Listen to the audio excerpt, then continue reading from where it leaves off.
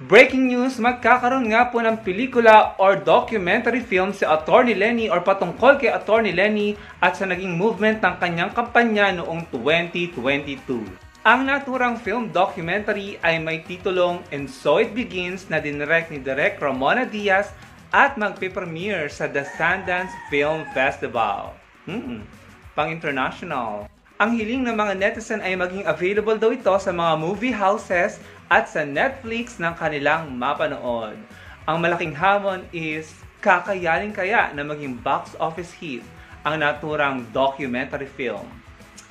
Comment down below.